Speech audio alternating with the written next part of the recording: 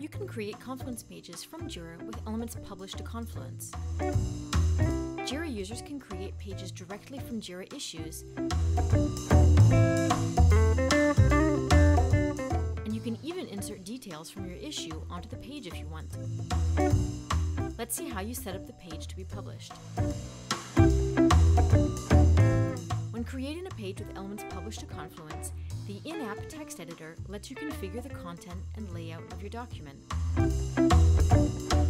With the WYSIWYG editor, it's easy to insert data from your JIRA issue into your Confluence page, and you know what your page will look like.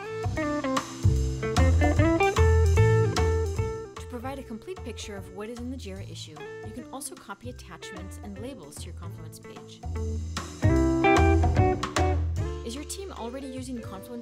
Templates, like the ones provided by Atlassian or maybe one you created?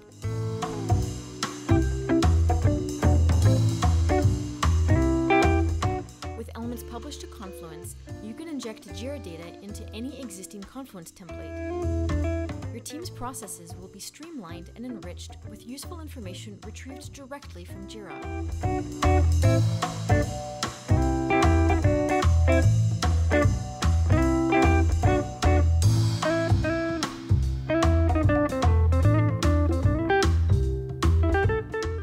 Automated page publication process, Elements Publish to Confluence will help your users save time, reinforce your processes, and reduce silos by making information from Jira available in Confluence.